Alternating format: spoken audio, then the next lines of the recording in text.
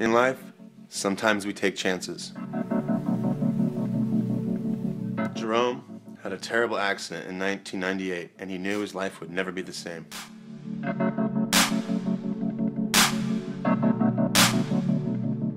Jerome was a young skateboarder from France who always liked to go skateboarding with his friends around the neighborhood. In 1998, Jerome was spending time in the French Alps.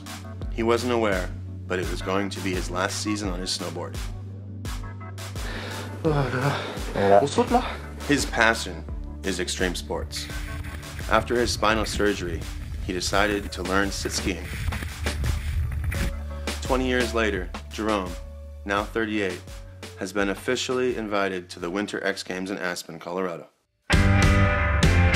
So this year, he is willing to take his chances to be the best at what he loves to do.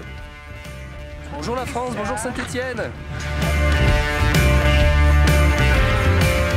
Jerome will have to knock out 12 of the best sit skiers in the world to reach the final.